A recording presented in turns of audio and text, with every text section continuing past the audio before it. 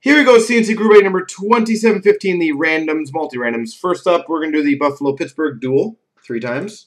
One, two, three. Pittsburgh wins that one. And the free spot in the next group break.